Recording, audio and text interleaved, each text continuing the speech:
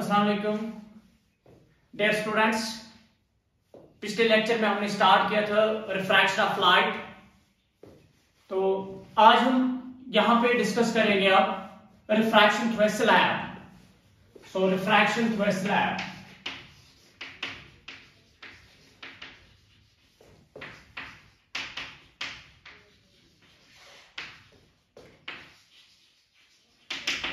हम parallel slab एक लेंगे। उसके थ्रू हम रिफ्रैक्शन यहाँ पे डिस्कस करेंगे। और उसमें हमने कुछ रिजल्ट्स देखने हैं लाइक लेटरल शिफ्ट उसमें कितना होगा, वहाँ पे नॉर्मल शिफ्ट कितना आएगा। सिमिलरली हम उसके बाद लेंगे कंपोजिशन ऑफ़ दी स्लैब्स जहाँ पे हम कॉम्बिनेशन ऑफ़ स्लैब्स लेंगे तो वहाँ पर भी हम ये रिजल्ट्स डिस्कस करेंगे। So let's start with a single slab so let's suppose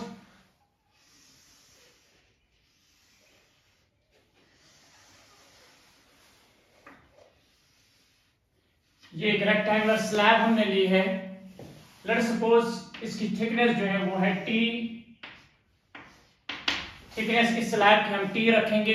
It's a transparent slab let suppose इसका रिफ्रैक्ट इंडेक्स है mu mu is the refract index of this slab अब रे आती है ईयर से।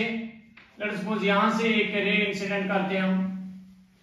This is the ray बाहर है air और इसके एक्चुअल पाथ हमें पता है this is the actual path of this ray ये इस रे की एक्चुअल पाथ है।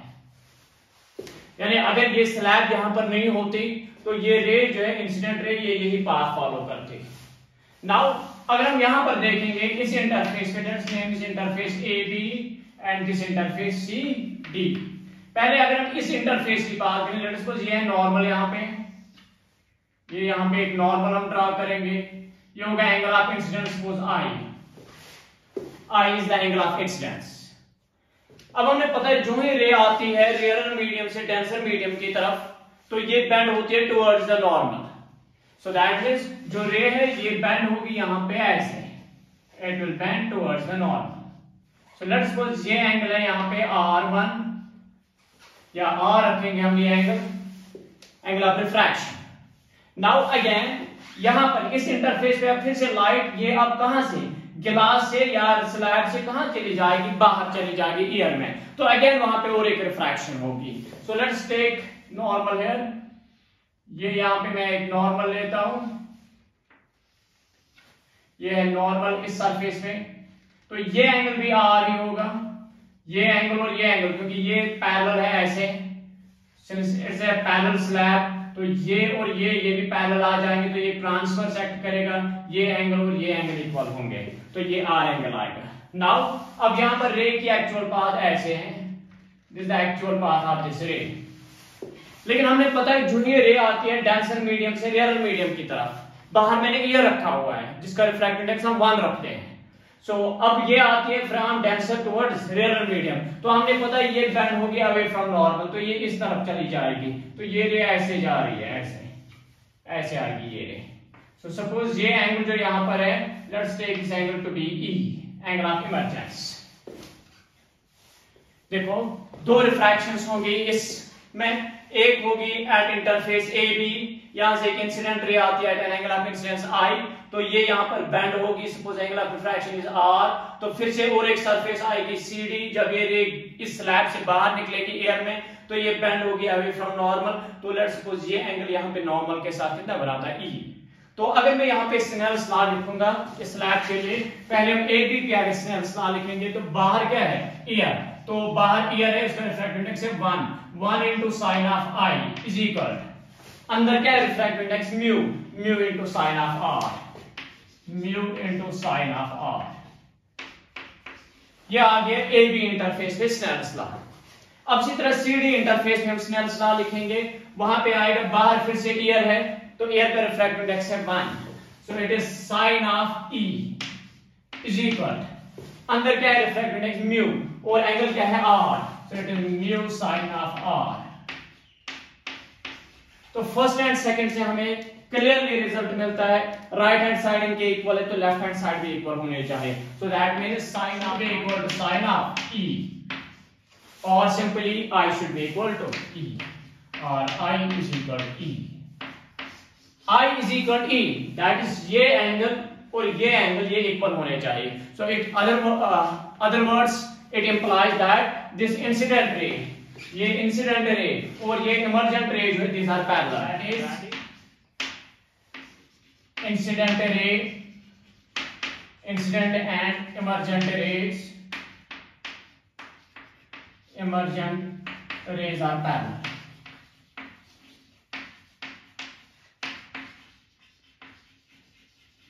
So, overall अब हमने यहाँ पर देखा कि जब हम रिफ्रैक्शन पर स्लैब देखेंगे उसमें जो इंसिडेंट रे और ये इमरजेंट रे जो आएँगी these will be parallel to each other अब देखो यहाँ पे अब पैरेलल आ गई तो दैट मीन डेविएशन यहाँ पे ज़ीरो आ गया। Deviation is zero deviation is equal to zero क्योंकि ये पैरेलल ही आ जाती है। अब जरा देखें, लेकिन यहाँ पे ये इंसिडेंट रे की ये एक्चुअल पाथ थी, लेकिन फाइनल पाथ इसने ये फॉलो की है। तो इसका मतलब ये इसमें शिफ्ट आ गया है साइडवेज शिफ्ट आ गया है। So this is what we call lateral displacement इसको हम बोलते हैं लेटरल डिस्प्लेसमेंट यानी ये ये। पैरेलल शिफ्ट और lateral displacement so that is the distance perpendicular distance between the incident ray and the emergent ray the perpendicular distance between the incident ray and the emergent ray. This is called as lateral shift. So lateral shift.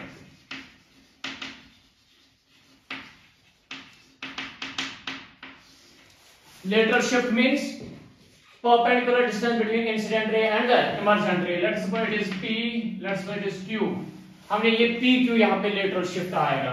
So p q which is equal to जब हम ये result derive करेंगे यहाँ पे तो हमें final result मिलेगा t sine of i minus r divided by cos of r so this will be the lateral shift और लेटर डिस्प्लेसमेंट इन दिन रेट सो देखो इंसिडेंट रे और emergent ray these are parallel to each other लेकिन यहाँ पे sideways shift आता है पैरेलल शिफ्ट आता है इस रे में. So this parallel shift that is perpendicular distance between incident ray and the emergent ray that's what we call lateral displacement और इस लेटरल डिस्प्लेसमेंट के लिए क्या एक्सप्रेशन आता है? T sin of i minus r divided by cos of r. देखो, अब ये तो इन जनरल ये जनरल रिज़ल्ट आ गया. लेकिन कभी कभी इसमें अप्रोक्सीमेशन पे क्वेश्चन आता है. अगर हम यहाँ पे नोट करके रखेंगे if the ray is incident ray, close to normal. If the incident ray is close to normal. That is ये ये इंसिडेंट रे अगर ये इंसिडेंट रे इस नॉर्मल के करीब आती है तो एंगल ऑफ़ इंसिडेंस क्या होगा? वेरी स्मॉल होगा. तो that is i is small that means i is very small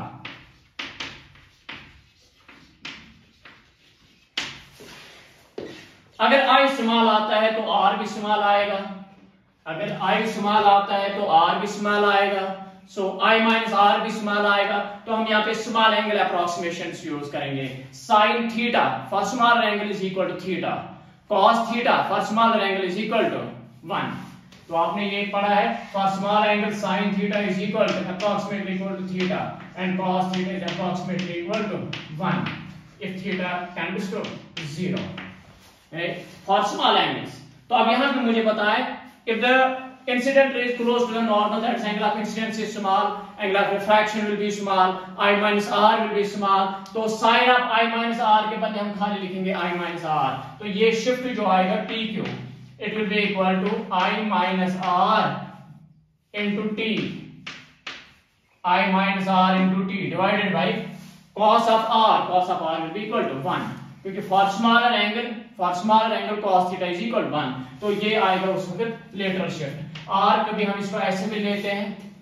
T और i i में बाहर लूँगा i में बाहर लिया तो यहाँ बचेगा 1 minus r by i. 1 minus r by i. Angle of reflection divided by angle of incidence. T t is thickness of the slab. और कभी कभी आप इसको इंटरसम म्यू भी रिप्रेजेंट कर सकते हो। ये जरा देखें। For small angle sine of i is equal mu sine of r ये क्या बनेगा? I is equal mu r for small angles small angles i will be equal to mu r so अब इसमें जरा देखिए आप। आर के बदले आर के बदले हम क्या लिख सकते हैं? आई बाई म्यू आर के बदले हम लिख सकते हैं आई बाई म्यू या आई के बदले हम लिखेंगे म्यू आर जरा ये देखिए, जब मैं आई के बदले लिखूँगा म्यू आर सो यहाँ पर क्या होगा? आर आर क्या होगा? कैंसर तो टी आई आई के बदले हम लिख सकते हैं mu r so t into चले, इसको हम आई ऐसे रखेंगे into one minus r by i r divided by i will be equal to one by mu so one by mu कभी कभी ऐसे भी लिख सकते हो आप। T i into one minus one by mu so या इन टर्म्स ऑफ़ आर भी हम लिख सकते हैं इसको। फिर हम instead of this r instead of r हम यहाँ पे ये आई के बदले हम लिखेंगे यहाँ पे क्या? म्यू आर आई के बदले हम म्यू आर भी लिख सकते हैं। तो उस रिज़ल्ट में हम लिखेंगे। तो ये इसके लिए कुछ डिफरेंट फॉर्म्स आते हैं। ये अब तक दो तीन बार आया है ये क्वेश्चन इसी पे ये ऑब्जेक्ट आ रहे दो तीन बार. So you have to be extra careful here so general relation है लेटरल डिस्प्लेसमेंट के लिए ये t sine of i minus r by cos of r for small angles are when the ray is close to normal cos of r is approximately one and sine i minus r is i minus r तो it is i minus r into t so t मैंने अपनी जगह पे आई मैंने बाहर निकाला तो ये बचेगा one minus r by i so so, और अगर आप यहाँ पे स्मॉल एंगल अप्रोक्सीमेशन लेते हो i will be equal to mu r so i is equal to mu r so r divided by i will be equal to 1 by mu तो r by i के बदले मैंने लिखा 1 by mu तो ये इस फॉर्म में कभी पूछा जाता है। ये रिजल्ट्स आपसे डिराइव हो जाने चाहिए। सो so, नाउ यहाँ पे आगे ये लेटरल शिफ्ट की बात हमने की है। यहाँ पर हमने फॉर स्मॉल एंगल अप्रोक्सीमेशन पे ये क्या रिजल्ट्स बनते हैं वो हमने डिस्कस किया है। अब इसमें एक एक्स्ट्रा कंसेप्ट uh, आता है। जहाँ पे हमें नॉर्मल शिफ्ट कैलकुलेट करना होता है। लेट सपोज़ ये एक स्लैब है ऐसे, यही स्लैब आपने ली हुई है, ऐसे। इसकी थिकनेस है टी इसका रिफ्रैक्टिव इंडेक्स है म्यू अगर फॉर एग्जांपल फॉर एग्जांपल ये बॉटम साइड जो है, अगर ये हमने व्यू करना होगा। ऑब्जर्वर यहाँ पर है सपोज़ ये यहाँ पर ऑब्जर्वर बैठा हुआ है, ऐसे एक ऑब्जर्वर है। इसकी रियल थिकनेस कितनी है? टी रियल थिकनेस इस स्लैब की है टी लेकिन जो ऑब्जर्वर यहाँ पे देखेगा, उसको ये टी नहीं दिखेगा। क्योंकि आपने पता है यहाँ पे इस जो ये बॉटम आएगा इसका, ये जो लोअर पोर्शन आएगा इस स्लैब का, इसमें शिफ्ट आ जाएगा नॉर्मल शिफ्ट जो आपने पिछले लेक्चर में देखा था, जब हम लेते थे ऑब्जेक्ट इन टेंशन मीडियम तो वैसे यहाँ पे आ जाएगा, इसमें शिफ्ट अपवर्ड्स आ जाएगा। यानी ये लेट्स ये सीडी साइड जो है सीडी साइड यहाँ पे, यहाँ पर नहीं दिखेगा रादर ये थोड़ा सा ऊपर हमें दिखेगा यहाँ पे। So it will appear at a thickness of t by mu real thickness in a real depth t divided by mu refractive index तो अब यहाँ पे आप ये शिफ्ट जो आगे इस डायरेक्शन में ये शिफ्ट इसको हम बोलते हैं normal shift so normal shift यहाँ पे कितना आएगा? So normal shift delta s n normal shift it is again real thickness it is t upper end कितनी है? टी बाई म्यू तो ये यहाँ पे जो आएगा it will be t minus t by mu so t minus t by mu t हम common लेंगे one minus one by mu तो ये आएगा यहाँ पे क्या? Normal shift normal shift due slab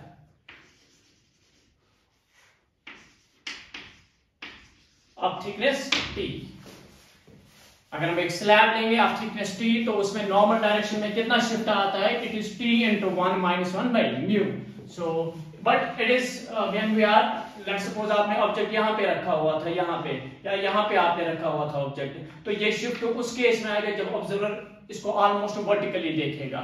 जब ऑब्जेक्ट वर्टिकली इसको व्यू करेगा इस ऑब्जेक्ट को तो इसमें कितना शिफ्ट आ जाएगा? It will be t into one minus one by mu इतना नॉर्मल शिफ्ट आ जाएगा अपवर्ड डायरेक्शन में। सो देयरफॉर अगर मैं यहाँ पे एक एग्जांपल आपको देता सपोज़ ये है यहाँ पे स्लैब इसकी थिकनेस है डी इसका रिफ्रैक्टिव इंडेक्स है म्यू आप ऑब्जेक्ट यहाँ पे रखते हो, नीचे। यहाँ पे आपने ऑब्जेक्ट रखा हुआ है। तो ऑब्जर्वर यहाँ पर इसको व्यू करता है। यहाँ पर एक ऑब्जर्वर इसको व्यू करता है।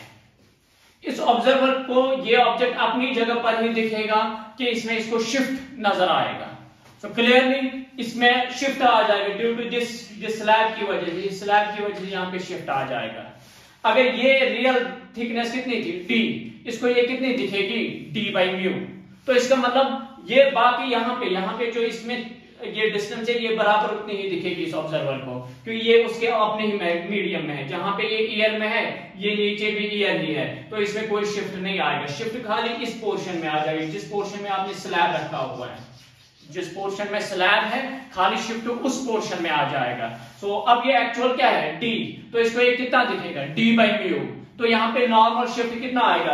Again it will be d into one minus one by mu तो इतना शिफ्ट आ जाएगा इस ऑब्जेक्ट में। और किस डायरेक्शन में आ जाएगा? अपवर्ड डायरेक्शन में आ जाएगा। यानी अगर हम ऑब्जेक्ट यहाँ पर लेंगे अगर ये इंसिडेंट रे यहाँ से हम लेंगे तो जो शिफ्ट आता है shift is always along the direction of incidence वो along the direction of incidence वो शिफ्ट आ जाता है। सो so, ये रिजल्ट्स हम यहाँ पे लेते हैं किसके लिए? एक पैरल स्लैब के लिए लेते हैं। सो so, अब हम कंपोजिट स्लैब्स के लिए भी ये रिजल्ट्स देखेंगे। Now we will discuss here the composition of slabs let's suppose ऐसे मैं सिचुएशन लेता हूँ। ये एक स्लैब है। दूसरी स्लैब इसके नीचे ऐसे। तीसरी स्लैब ऐसे है। So on and so fourth suppose इसकी थिकनेस है T1 इसकी थिकनेस है T2 इसकी थिकनेस है T3 इसी तरह सपोज़ इसका रिफ्रैक्ट इंडेक्स है म्यू वन इसका है म्यू टू इसका है म्यू थ्री तो अब यहाँ पे refraction through this composition of slabs ये पैरल स्लैब्स हैं. यानी ये ऐसे एक स्लैब है, यहाँ पर ये एक स्लैब है. इसी तरह नीचे ये एक स्लैब है. इस तरह for n number of slabs भी आप ले सकते हो। एन नंबर ऑफ़ स्लैब्स के लिए लेके आप। सो इसमें भी अगर आप इंसिडेंट रे फॉर ये है नॉर्मल यहाँ पे इस पॉइंट ऑफ़ पे ये नॉर्मल है। तो अगर आप यहाँ पे इंसिडेंट रे ऐसे डालते हो इंसिडेंट रे अगर ऐसे आती है सो so, ये यहाँ पे ऐसे जाती है एक्चुअल पाथ इस रे की। तो इस रे की एक्चुअल पाथ अगर हम देखेंगे तो इस रे की एक्चुअल पाथ ऐसे है this the actual path of the ray लेकिन हमने पता है यहाँ पर बेंड होगी टुवर्ड्स द नॉर्मल ऐसे। फिर से और एक रिफ्रैक्शन होगी इस फेस में। ये फिर से सपोज़ बेंड होगी टुवर्ड्स द नॉर्मल ऐसे। सो so, फिर से यहाँ पे इस सरफेस पे फिर से रिफ्रैक्शन होगी। लेट्स सपोज़ ये फिर से यहाँ पे ऐसे आ गई है। तो फाइनली इस फेस में इस फेस में फिर से रिफ्रैक्शन होगी तो ये सपोज़ ऐसे जा रही है। ना देखो अगर ये एंगल ऑफ़ इंसिडेंस आई आपने लिखा था सो so, ये अगर आप यहाँ पर देखेंगे इस नॉर्मल के साथ दिस इज़ आर वन तो ये एंगल भी आएगा आर वन तो लेट्स सपोज़ यहाँ पर जो एंगल ऑफ़ रिफ्रैक्शन है इस फेस पे ये है आर टू तो यहाँ पर ये एंगल भी आएगा आर टू ये एंगल भी आएगा आर टू जैसा आपने सिंगल स्लैब में देखा था। लेट सपोज़ ये एंगल है यहाँ पे आर थ्री ये आर थ्री एंगल तो यहाँ पर भी इस फेस पे ये एंगल कितना आएगा? ये एंगल आएगा आर थ्री तो सपोज़ ये एंगल है ई e, ऐसे तो अगर आप इसके लिए लिखेंगे single so it is composed composed parallel slabs parallel slabs अगर पहले ऊपर वाले फेस में यहाँ पे अगर आप सिग्नल स्टार लिखेंगे it will be sine of I is equal mu one sine of R one ये mu one sine of R one इस तरह यहाँ पे it is mu one sine of R one is equal mu two sine of R two so mu one sine of R one is equal mu two sine of R two अब इसी तरह इसके लिए mu two sine of R two is equal mu three sine of R three so mu two sine of R two is equal mu three sine of R three अब इसी तरह इस face पे mu three sine of R three is equal to बाहर one one into sine of E so mu three sine of R three is equal to sine of E so clearly आप यहाँ पे देख सकते sine I is equal sine E so I is equal E तो फिर से आगे यहाँ पे I is equal E so I is equal E means जो इंसिडेंट रे है और जो फाइनली इमरजेंट रे है, वो पैरेलल आ जाती है। So incident ray incident and emergent rays are parallel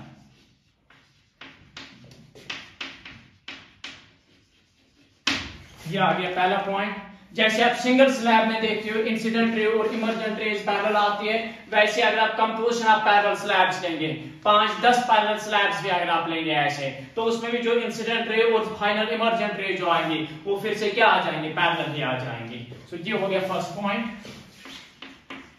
now अब दूसरा पॉइंट है यहाँ पे। जरा देखें अगर किसी भी दो स्लैब्स का रिफ्रैक्ट इंडेक्स सेम है let suppose mu one mu three से if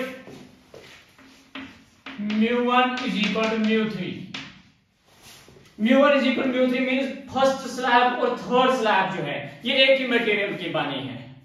स्लैब वन और स्लैब थ्री जो यहाँ पर है so these are made of the same material तो इसका रिफ्रैक्टिव इंडेक्स और इसका रिफ्रैक्टिव इंडेक्स क्या है? Same so mu one is equal to mu three जरा ये देखें mu one sine of R one mu one sine of R one is equal हमें क्या मिलेगा? It will be mu three sine of R three mu three भी किसके बराबर है? म्यू वन के बराबर है. Mu three sine of R three so mu one और म्यू थ्री कैंसिल हो गए क्योंकि वो इक्वल है तो R one is equal R three so implies R one is equal R three देखो आर वन और आर थ्री का मतलब. आर वन आ गया ये ये यहाँ पे अब इंसिडेंट रे इस स्लैब के लिए है। So R one is equal R three ये ये एंगल यहाँ पे ये आर थ्री ये एंगल और ये एंगल अब इक्वल है। तो so, इसका मतलब ये रे ये आप ऐसे भूल जाए। यहाँ पे आप फॉरगेट अबाउट दीज टू ये ऊपर वाला पोर्शन भूल ही जाए। ये नीचे वाला पोर्शन भूल ही जाए। अगर आपको ये एंगल और ये एंगल इक्वल मिलते हैं जैसे ये एंगल और ये एंगल अगर इक्वल थे जब ये एंगल और ये एंगल जब ये इक्वल आते हैं तो हम बोलते हैं ये रे और ये रे क्या आती है? पैरल आती है। अब इसमें जरा देखिए, अगर ये एंगल और ये एंगल इक्वल होंगे तो इसका मतलब ये रे और ये रे क्या आ जाएँगे? Parallel so R one is equal R three means that is the rays in slab 1 in slabs 1 and 3 are parallel. इसका रिवर्स भी ट्रू है। यानी अगर दो स्लैब्स का रिफ्रैक्टिव इंडेक्स सेम है, अगर दो स्लैब्स का रिफ्रैक्टिव इंडेक्स सेम है तो उन दो स्लैब्स में जो रेज आ जाएँगी, वो एक दूसरे पे पैरेलल होंगी। इसका कन्वर्स भी ट्रू है। दैट इज़ अगर दो स्लैब्स में रेज पैरेलल आती है, अगर दो स्लैब्स में रेज पैरेलल आती है तो it implies that refractive index of those two slabs is equal ये दोनों सही है अगर किसी भी दो स्लैब्स में रेस पैरेलल आ जाती है it means that the refractive index of those two slabs is equal अगर दो स्लैब्स का रिफ्रैक्टिव इंडेक्स इक्वल है it simply implies that the rays inside those two slabs will be parallel. तो ये इसमें ऑब्जेक्ट में आगे दिखाऊँगा इसमें, जो पूछा गया है आईआईटी में वो क्वेश्चन पूछा गया था, वो मैं दिखाऊँगा आपको आगे।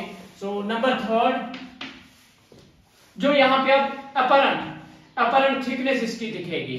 तो जरा देखिए, इसकी थिकनेस रियल थिकनेस क्या है? टी वन इसकी रियल थिकनेस क्या है? टी टू इसकी रियल थिकनेस क्या है? टी थ्री लेकिन ये इसकी अपरंट थिकनेस कितनी दिखेगी? T one by mu one T one by mu one इसकी अपरंट थिकनेस दिखेगी इस पोर्शन की। इस पोर्शन की अपरंट थिकनेस कितनी होगी? It will be T two by mu two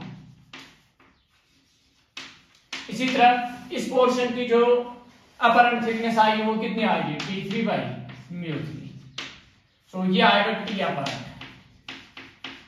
upper thickness in these composite slabs will be equal to this thing so इसी तरह आप यहाँ पे total shift total normal shift total normal shift आप यहाँ पे कैलकुलेट कर सकते हो यहाँ पे। So total normal shift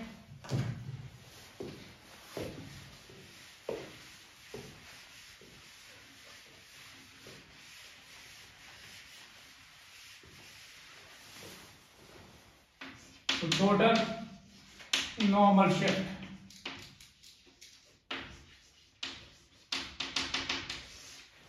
total normal shift delta S N it is equal to shift due to this lab plus shift due to this lab plus shift due to this lab so अब देखो, इसका actual क्या था? T1 लेकिन apparent इसका क्या है? T1 one by mu one तो इसका जो शिफ्ट आएगा it will be T1 one minus T one by mu one तो टी वन मैं कॉमन लेता हूँ it will be one minus one by mu one ये एक स्लैब की वजह से जो शिफ्ट आ गया।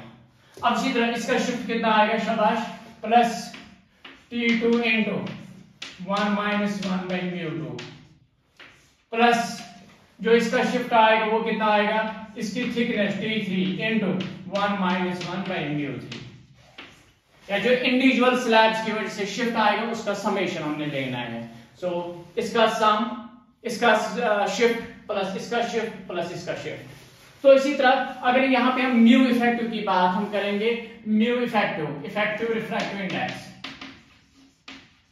effective refractive index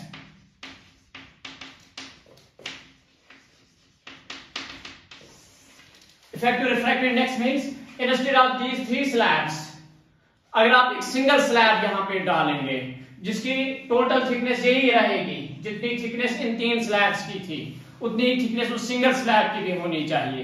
And that slab must produce the same effect as being produced by these three slabs जो ये तीन स्लैब्स इफ़ेक्ट यहाँ पे प्रोड्यूस करते हैं, वो सिंगल स्लैब भी सेम इफ़ेक्ट प्रोड्यूस करनी चाहिए। तो उसका फिर रिफ्रैक्टिव इंडेक्स क्या होगा? उस सिंगल स्लैब का। उसी को हम बोलेंगे यहाँ पे effective refractive index so mu effective mu effective is equal देखो, आपने रिलेशन पता है रियल थिकनेस और अपरेंट थिकनेस में। सो रियल टी रियल और टी अपरेंट आपने पता है। It is always equal to T real divided by mu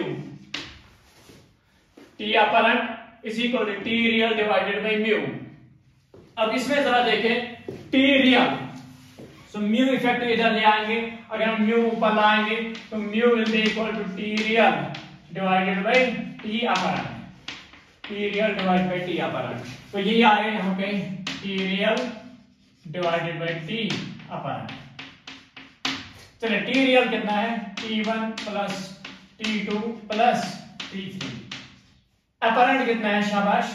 T one by mu one पहली स्लैब का। दूसरी स्लैब का T two by mu two plus तीसरी स्लैब का T three by mu three तो ये आएगा यहाँ पे इस तरह से हम इफ़ेक्टिव रिफ्रैक्टिव इंडेक्स इसमें निकालेंगे सो so, ये इसमें भी एक आस्क्ड क्वेश्चन है जिसमें दो स्लैब्स का हमने दिया था। दो स्लैब्स की thickness T1 and T2 refractive index mu1 and mu2 तो आपने बोलना इफ़ेक्टिव रिफ्रैक्टिव इंडेक्स उस स्लैब का क्या आएगा? So it will be T1 T2 divide by T1 mu1 T2 mu2 so so, दो स्लैब्स के लिए वो रिज़ल्ट आप नोट कर सकते हो। सो so, ये आप यहाँ पे कंपोजिट स्लैब्स के लिए ये रिजल्ट्स नोट करेंगे। पहला रिज़ल्ट ये है कि जो इंसिडेंट रे और इमरजेंट रेज हैं, वो पैरेलल आ जाएँगी। उससे आपने वहाँ पे दो रिजल्ट्स निकाले थे। एक रिज़ल्ट ये कि अगर दो स्लैब्स का रिफ्रैक्टिव इंडेक्स सेम है तो इसका मतलब है उन दो स्लैब्स में जो रेज आएँगी, वो पैरेलल होंगी। और उसका तीसरा आया था वहाँ पे, अगर दो स्लैब्स में रेज पैरेलल आ जाती है तो इसका मतलब उन दो स्लैब्स का रिफ्रैक्टिव इंडेक्स इक्वल है। तीसरा उस आपने निकाला था यहाँ पे जो अपरंट थिकनेस है अपरंट थिकनेस इस स्लैब की है, वो कितनी आएगी? T1 one by mu one plus T two by mu two plus T three by mu three ये आ गया अपरंट थिकनेस इसी तरह नॉर्मल शिफ्ट की अगर हम बात करेंगे नॉर्मल शिफ्ट यहाँ पर कितना आएगा? T one into one minus one by mu one इसका आएगा T two into one minus one by mu two इसका आएगा T three into one minus one by mu three तो टोटल शिफ्ट आएगा T one into one minus one by mu one plus T two into one minus one by mu two plus T three into तो इसी तरह अगर हमें effective refractive index निकालना होगा it is simply equal to T real divided by T apparent so t real यहाँ पे आएगा t1 plus t2 plus t3 that's the real thickness of the composition of the slabs. लेकिन apparent कितनी है? T one by mu one plus T two by mu two plus T three by mu three तो ये यहाँ पे ये results आ गए. Now let's have exercise on this part इस पार्ट में पहले एक्सरसाइज करेंगे। सो so, पहला क्वेश्चन ये है कि a light ray incident at an angle of 60 degree with the to a 2 cm thick plate ये आप एक थिक प्लेट लेते हो ऐसे। इसकी थिकनेस कितनी है? 2 सेंटीमीटर आप इस पे एक रे इंसिडेंट करते हो at an angle of 60 degree 60 degree पे आप लाइट इंसिडेंट करते हो तो ये इसकी एक्चुअल पाथ है। This the actual path of the ray आपने निकाला find the lateral shift in the path of the light as it emerge out from the plate इसका रिफ्रैक्टिव इंडेक्स है √3 म्यू इज़ इक्वल टू √3 तो आपने पता यहाँ पर ये बैंड होगी टुवर्ड्स द नॉर्मल ऐसे. तो यहाँ फिर से जब आप देखेंगे तो ये ऐसे आगे parallel to the parallel to the incident ray तो आपने ये शिफ्ट देखना है यहाँ पे लेटरल शिफ्ट ये लेटरल शिफ्ट डेल्टा एस या डी डी आपने निकालना है। तो इसके लिए मुझे पता है formula D is equal T sine of I minus R divided by cos of R देखो थिकनेस मुझे पता है टी टू सेंटीमीटर आई मुझे पता है इट इज़ सिक्सटी डिग्री अब आर मुझे चाहिए यहाँ पे, ये आर मुझे चाहिए। अगर आपको आर मिला तो आप यहाँ पे निकाल सकते हो क्या? आप लेटरल शिफ्ट निकाल सकते हो। तो मैं यहाँ पे सिंपली यूज़ करूँगा सिनेल्स लॉ जरा यहाँ पे सिनेल्स लॉ लिखे आप। इस फेस पे बाहर रिफ्रैक्टिव इंडेक्स 1 तो sin of 60 degree is equal mu mu is root 3 sin of r sin 60 is the root 3 by 2 is equal to root 3 sin of r root 3 root 3 cancels sin r is equal to 1 by 2 so implies r is equal to 30 degree क्योंकि हमने पता है sine angle कब होता है one by two thirty degree पे होता है so that is sine R is equal to one by two implies R is equal to thirty degree तो अब आपने इसमें सब्स्टिट्यूट करना you will get the result जरा देखिए क्या आएगा। D is equal T it is two centimetre sine of शाबाश I 60 degree minus R 30 degree divided by cos of 30 degree so it is d is equal to 2 centimeter into. Sin 30 sin 30 is 1 by 2 divided by cos thirty root three by two तो two two cancel it is two by two by root three centimetre so this is the lateral shift so that is two divide by one so this will be the lateral shift in the ray of light in the path of light so हमने simple क्या निकाला? यहाँ पे lateral shift निकाला हमने।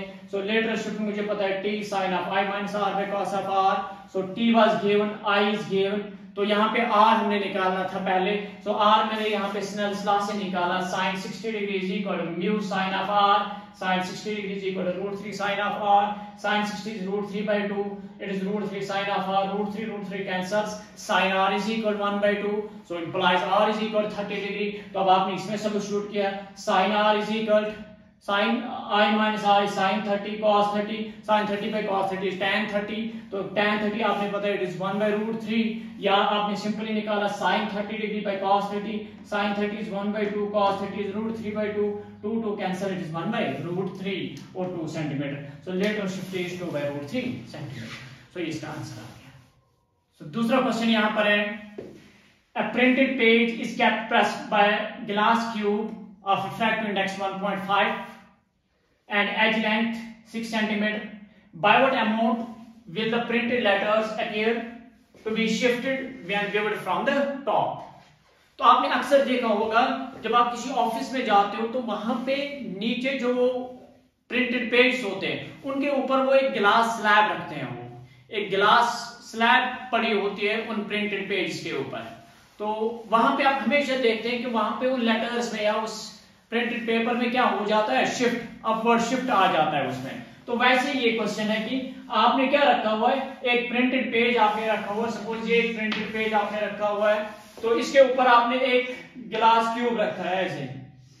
आप six centimetre as line और इसका रिफ्रैक्टिव इंडेक्स क्या है? Mu square one point five तो आपने बोलना है जो लेटर जो नीचे है यहाँ पे इन लेटर्स में कितना शिफ्ट आ जाएगा यहाँ पे? सो so, आपने पता है it is simply normal shift तो आपने नॉर्मल शिफ्ट लेना है normal shift is equal it is T into one minus one by mu what is thickness here it is 6 1 minus 1 by 1.5 so it is 1.5 minus 1 it is 6 centimeter into 1.5 minus 1 divided by 1.5 so it is 0.5 by 1.5 so it is 1 by 3 So 6 centimeter into 0.5 divided by 1.5. So 0 and 3. So 6 by 3 it is 2 centimeter. So that means the letters, the printed letters will shift by 2 centimeter upwards. इस direction में 2 centimeter shift आ जाएगा उसमें 2 centimeter shift आ जाएगा इसमें. So ऐसा एक और question है आपकी टेक्स्ट बुक में है ये कि एक फॉर एग्जांपल ये टेबल टॉप है टेबल टॉप टेबल टॉप पे एक स्मॉल पिन आप रखते हो यहाँ पे। पिन एक पिन आपने यहाँ पे रखी हुई है। आप क्या करते हो? आप इसको देख रहे हो at a distance of 50 centimetre let's suppose at a distance of 50 centimetre यहाँ एक ऑब्जर्वर है। सो so, ये यहाँ पर एक ऑब्जर्वर है। ये इसको देख रहा है। विच एट डिस्टेंस 50 सेंटीमीटर लेकिन वो कैसे देखते हैं इसको? Through a slab of thickness 15 centimetre यहाँ पे एक स्लैब रखा है 15 सेंटीमीटर स्लैब और इसका रिफ्रैक्टिव इंडेक्स है 1.5 टेबल टॉप पे आपने एक छोटी पिन रखी हुई है। At a distance of 50 centimetre एक ऑब्जर्वर इसको देखता है, लेकिन कहाँ से देखता है? Through slab of refractive index 1.5 and thickness 15 centimetre तो आपने इसमें शिफ्ट देखना है, इसकी इमेज में कितना शिफ्ट आएगा। तो ये अगर ऑब्जेक्ट है यहाँ पे हमने पता है यहाँ पर इंसिडेंट रेज ऐसे निकलेंगी तो शिफ्ट आता है अलॉन्ग डायरेक्शन ऑफ़ इंसिडेंस तो शिफ्ट ऊपर की तरफ़ ही आएगा। सो so, वो शिफ्ट आपने निकालना है डेल्टा एस एन तो फिर से आपने नॉर्मल शिफ्ट निकालना है। So let's go delta S N इस केस में कितना आएगा? टी देखो इसमें कोई शिफ्ट नहीं है इसमें कोई शिफ्ट नहीं है। शिफ्ट खाली किसमें आ जाता है? जो आप स्लैब थिकनेस रखते हो। जो स्लैब थिकनेस होती है खाली उसमें शिफ्ट आ जाता है। बाकी डिस्टेंसेस में वहाँ पे शिफ्ट नहीं आता है। सो so, खाली शिफ्ट इस केस में आएगा। मुझे बताया एक्चुअल डिस्टेंस कितनी है? 15 centimetre so T is 15 centimetre into 1 minus 1 by mu mu कितना है फिर से इसका? 1.5 so 1.5 So it is again 15 centimeter into 1.5 minus 1, it is 0.5 divided by 1.5. So 5 into 3, 15. So 15 by 3, it is 5 centimeter. So delta Sn is equal 5 centimeter. So that means the shift, the shift in the position of this small pin when viewed through a slab of thickness 15 centimeter is 5 centimeter इसमें आ जाएगा shift. So now let's have some other questions. अब हमारे पास question ऐसे हैं अब हमारे पास question ऐसे है कि एक वेसल है, जिसमें वाटर और ऑयल आप फिल कर जो सपोज़ एक वेसल है 20 सेंटीमीटर तक 20 सेंटीमीटर तक आप वाटर फिल करते हो इसमें। And above it an oil up to another 20 centimetre और फिर 20 सेंटीमीटर तक आप ऑयल इसमें डाल दो आप। ये भी ट्वेंटी सेंटीमीटर है। ये वेसल है आपकी। तो आपने निकालना क्या है? Refractive index of water is two इसका म्यू है टू और इसका म्यू है वन पॉइंट फाइव तो हमने निकाला यहाँ पे apparent depth of the vessel when viewed from above यानी अगर ऑब्जर्वर यहाँ से इसको देखता है, जब ऑब्जर्वर इसको यहाँ से देखेगा तो इसकी अपरेंट डेप्थ आपने निकालनी है। तो रियल डेप्थ कितनी है? 20 plus twenty that is forty centimetre तो आपने अपर एंड डेप्थ निकालनी है। तो मुझे पता है यहाँ पे अपर एंड डेप्थ आ जाएगी इसमें। T apparent it is T real by mu पहले इसका T one by mu one plus T two by mu two so T one is twenty centimetre divided by mu one उसका refractive index क्या है? 1.5 1.5 plus इसी तरह इसका refractive index T two by mu two इसका real क्या है? Twenty इसका रियल है ट्वेंटी और म्यू कितना है? टू तो अब यहाँ पे ये आएगी इसके लिए apparent depth so this will be the apparent twenty by one point five so it is forty by three that's around thirteen point three three plus ten centimetre so it is twenty three point three centimetre depth will be 23.3 centimetre लेकिन actual depth कितनी थी?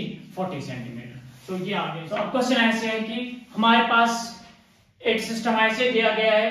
एक slab है, जिसका refractive index है 4 by three और इसकी thickness है 8 सेंटीमीटर दूसरी स्लैब है, इसका रिफ्रैक्टिव इंडेक्स है 3 बाई टू इसकी थिकनेस है 6 सेंटीमीटर नीचे एक पॉइंट पी है यहाँ पे। आपने बताना है, जब ये ऑब्जर्वर ऊपर जो है, ये ऑब्जर्वर जब ये इस पॉइंट पी की इमेज को देखेगा तो इसकी लोकेशन कहाँ पे होगी? यानी जब ये ऑब्जर्वर इस पॉइंट पी को देखेगा ऊपर से तो इस पॉइंट पी की पोजीशन क्या होगी? लोकेशन क्या होगी?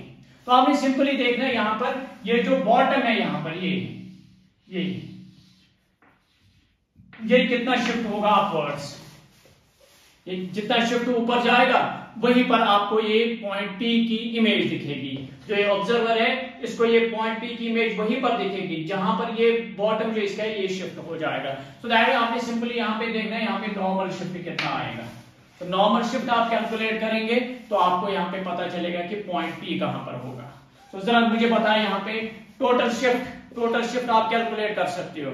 या आप अपर एंड डेप्थ निकाल सकते हैं। यहाँ से यहाँ तक आप निकालेंगे अपर एंड डेप्थ कितनी आएगी।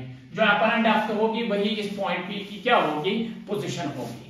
तो मैं वही निकालूँगा T apparent a part T apparent is equal T one T one क्या है? Eight centimetre eight centimetre divide by mu one it is four by three plus T apparent is this thing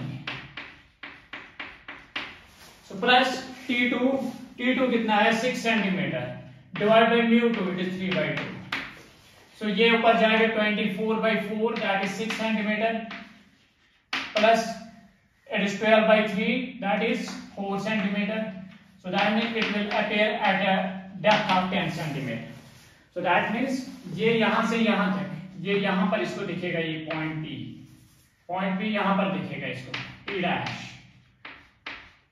ये surface से top से किस distance पे दिखेगा? Ten centimetre below तो ऊपर से नीचे टेन सेंटीमीटर पे दिखेगा। अब दूसरा भी है इसमें, दूसरा पार्ट भी है इसमें। Find the effective refractive index of the system इस सिस्टम का आपने इफ़ेक्टिव रिफ्रैक्टिव इंडेक्स निकालना है। तो वो आपने पता है इफ़ेक्टिव रिफ्रैक्टिव इंडेक्स हम कैसे निकालते हैं? It's T real by T mu sorry T real by T apparent what is T real here T real is 14 centimetre centimeter so it is t1 plus t2 divided by apparent is t1 by mu1 plus T two by mu two, ऐसे।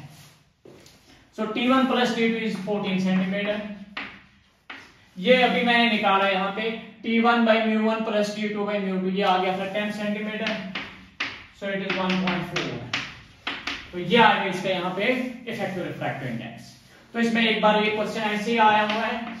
ऐसे दो slabs हैं।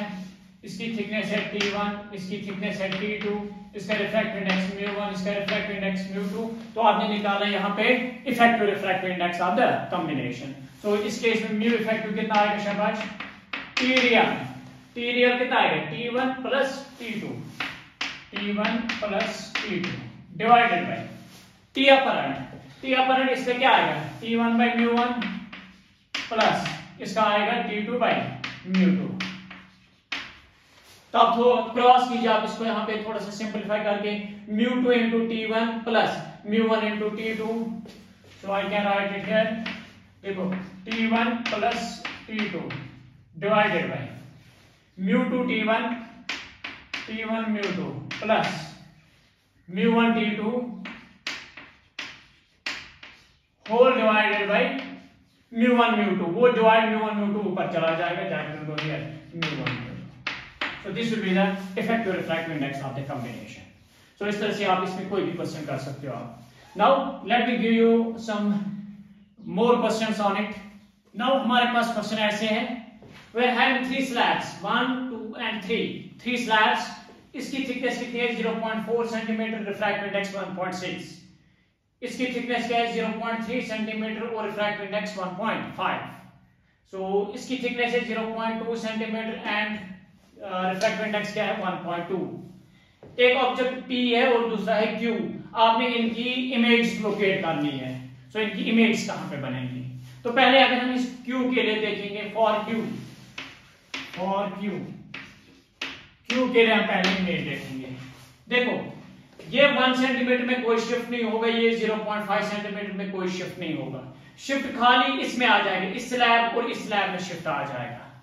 तो यहाँ पे हम देखेंगे इसका यहाँ पे शिफ्ट कितना आ जाएगा? पहले इस स्लैब का शिफ्ट देखेंगे हम। तो टोटल शिफ्ट टोटल शिफ्ट कितना आएगा इस क्यू में?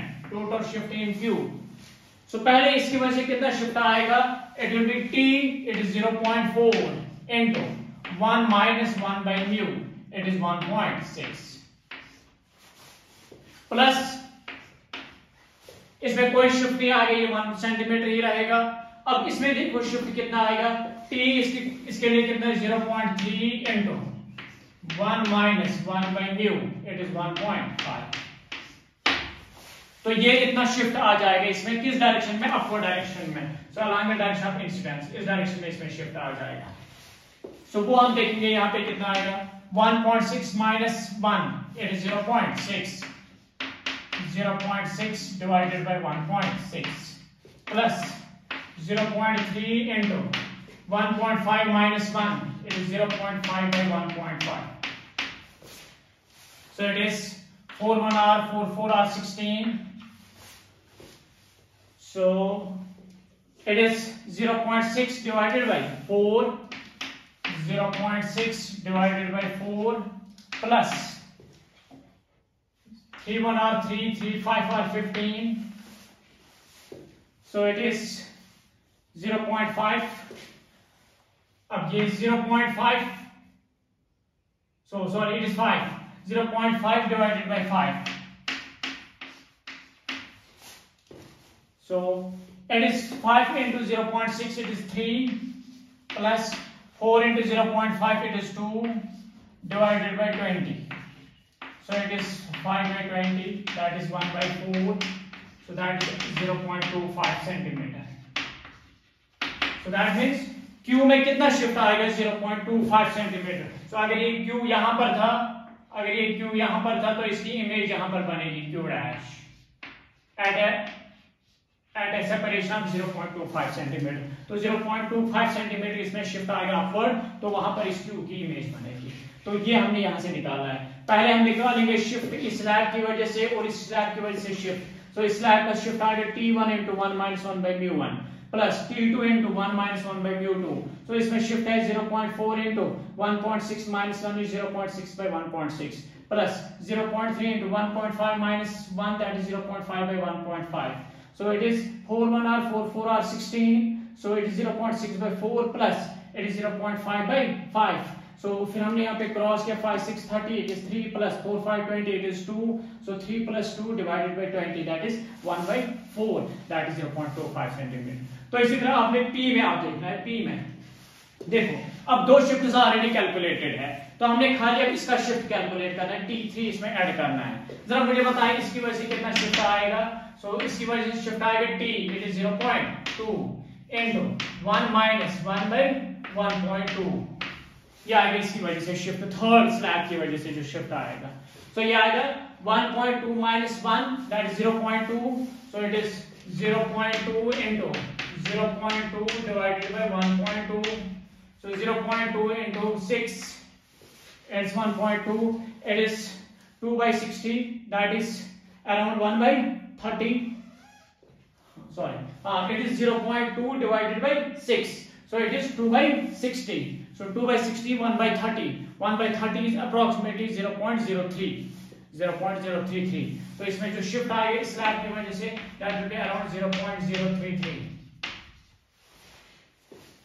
0.033 centimetre इसका शिफ्ट आएगा। तो अब मुझे बताएँ टोटल शिफ्ट कितना आ जाएगा?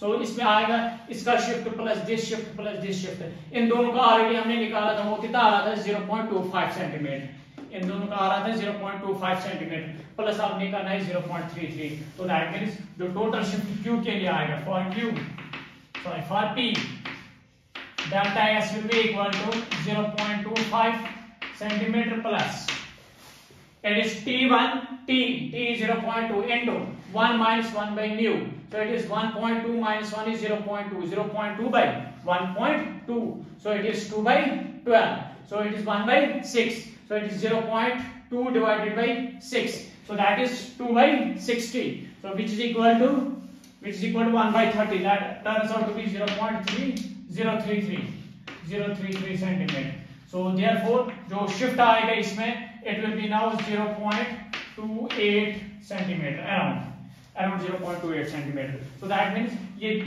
की जो इमेज आएगी वो अराउंड यहाँ पे होगी it will be around here p dash at a shift of 0.28 centimeter इतना शिफ्ट आ जाएगा इसमें।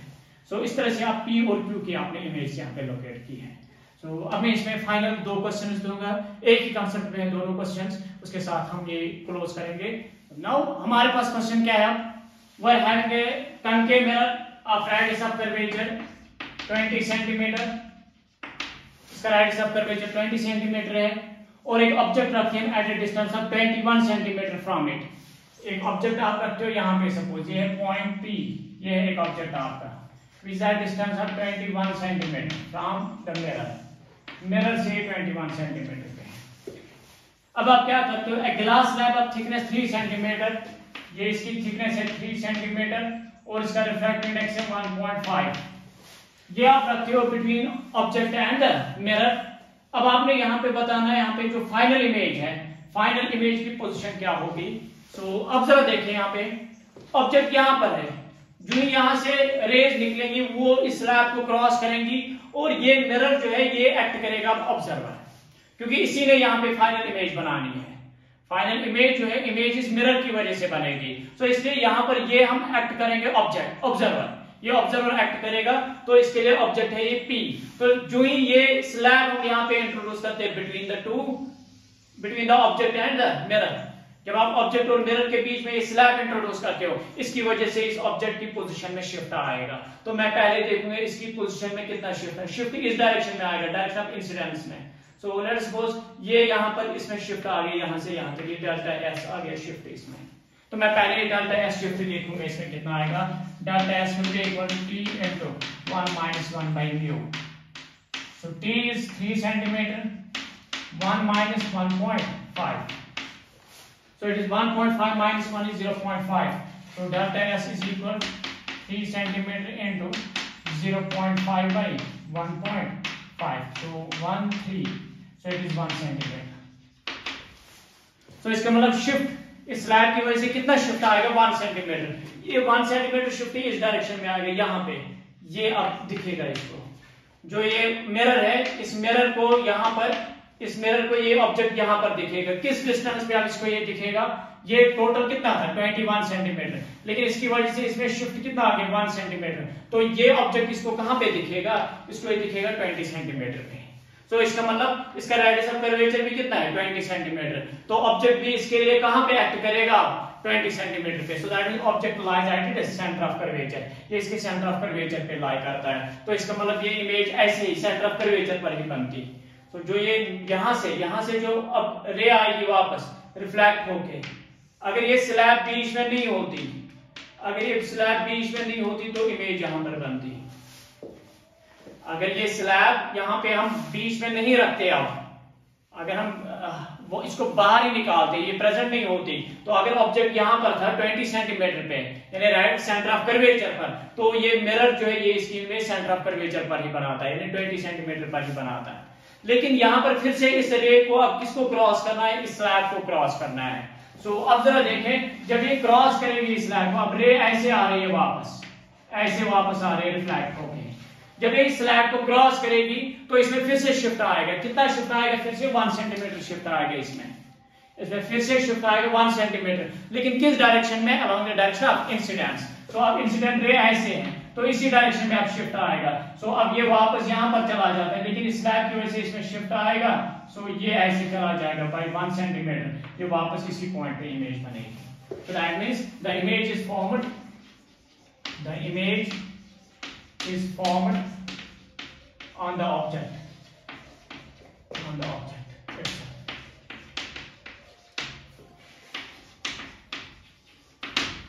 ये ऑब्जेक्ट पर ही इमेज बनी है। अब मैं इसमें और एक दो एक्सरसाइज दिखाऊँगा जल्दी जल्दी। ताकि आपको एक कंसेप्ट समझ आ जाए।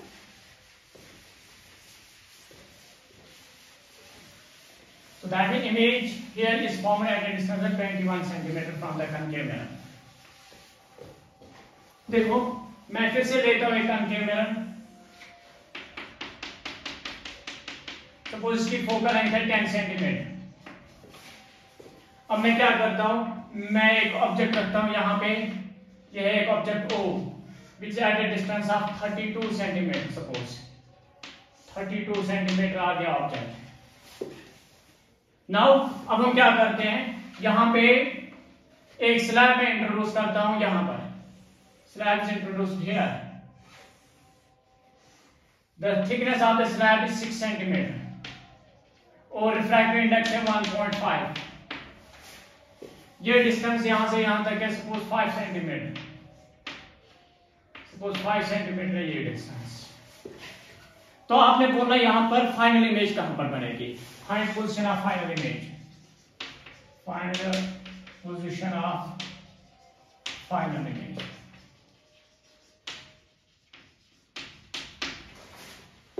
एक कंकेव मिरर लिया मैंने, जिसकी फोकल लेंथ 10 सेंटीमीटर है। एक ऑब्जेक्ट मैंने रखा है at distance of 32 centimetre from the concave mirror लेकिन अब मैंने बीच में एक स्लैब इंट्रोड्यूस की है, जिसकी थिकनेस है 6 सेंटीमीटर रिफ्रैक्टिव इंडेक्स है 1.5 at a distance of 5 centimetre from the pole of the mirror तो आपने बोला यहाँ पे फाइनल इमेज कहाँ पे बनेगी? देखो, हम पहले देखेंगे इस स्लैब की वजह से कितना शिफ्ट आएगा। क्योंकि ये मिरर इस ऑब्जेक्ट को जब देखेगा, इसको इसको ये अपनी पोजीशन पे नहीं दिखेगा, क्योंकि इस स्लैब की वजह से इसमें शिफ्ट आएगा। तो पहले रे ऐसे निकलेंगी तो इसमें शिफ्ट इसी डायरेक्शन में आएगा। शिफ्ट इसी डायरेक्शन में। Along the direction of incidence so let suppose ये यहाँ पर इसको दिखता है। ओ डैश ओ डैश मैं ये शिफ्ट पहले निकालूँगी ये कितना आएगा डेल्टा एस तो डेल्टा एस यहाँ पे कितना होगा शाबाश delta T into 1 minus 1 by mu T कितना है 6 centimetre 1 minus 1 by mu is 1.5. So it is delta S is equal 6 centimeter into 1.5 minus 1 it is 0.5 divided by 1.5 so 1 3 so it is 2 centimeter so therefore इसमें कितना shift आ गया? 2 centimetre इसमें इस direction में shift आ गया ऐसे ऐसे। तो ये ओ डैश जो है ये अब इस मिरर को मिरर को ये ऑब्जेक्ट आप कहाँ पे दिखेगा? 32 सेंटीमीटर पे कि 30 सेंटीमीटर पे? ये आप इसको 30 सेंटीमीटर पे दिखेगा। क्योंकि टोटल था 32 ये शिफ्ट यहाँ इस डायरेक्शन में कितना आ गया? 2 सेंटीमीटर तो ऑब्जेक्ट डिस्टेंस अब इस मिरर के लिए क्या आएगा?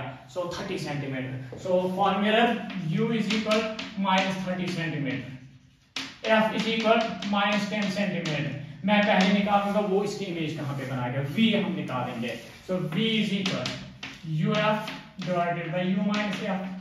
u is minus 30, f is minus 10 divided by u, it is minus 30 minus minus plus 10.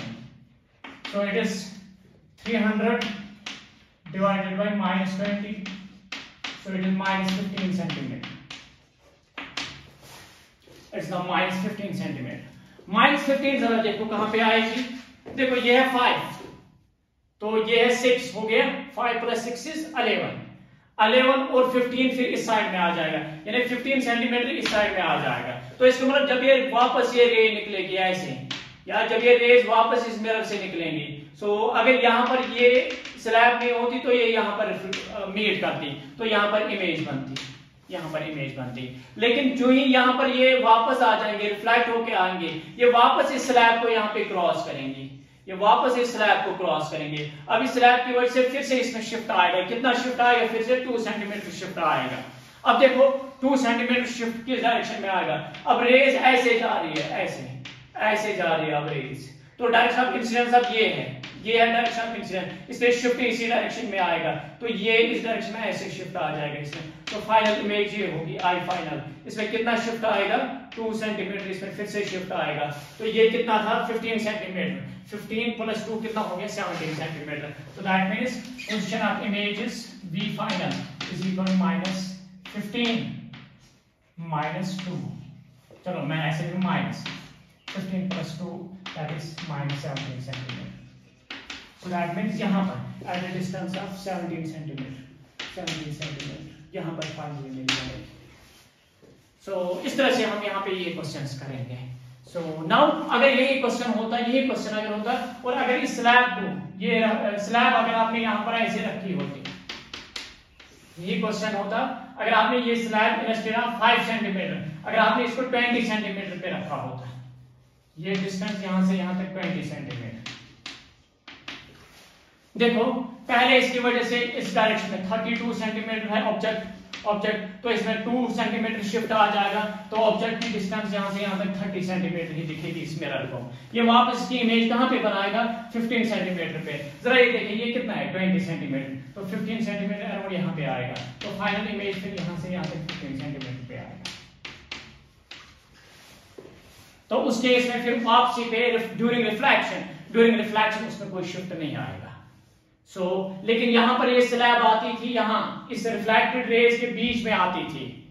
So so, image इसके लेफ़्ट साइड में बनती थी। इसलिए अब यहाँ पर ये रिफ्लेक्टेड रेज फिर से इस स्लैब को क्रॉस करती थी और एक शिफ्ट आ जाता था। लेकिन इस केस में क्या है? आपने अब ये स्लैब किस डिस्टेंस पे रखी है? ट्वेंटी सेंटीमीटर पे आपने ये स्लैब रखी है। सो so, लेकिन इमेज कहाँ पे बनती है? 15 सेंटीमीटर पर ही बनती है इमेज तो इसलिए ये रिफ्लेक्टेड रेज जो यहाँ से रिफ्लेक्ट होके आएँगे ये रिफ्लेक्टेड रे ये रिफ्लेक्टेड रे अब ये यहाँ पर before the formation of image image image बनाने से पहले ये इस इस स्लैब को क्रॉस नहीं करते इसलिए फाइनल इमेज उस केस में यहाँ पे बनेगी. उसमें आपने प्लस टू सेंटीमीटर नहीं करना है. So this all about this refraction through slab अब नेक्स्ट लेक्चर में इंशाल्लाह हम करेंगे total internal reflection T R thanks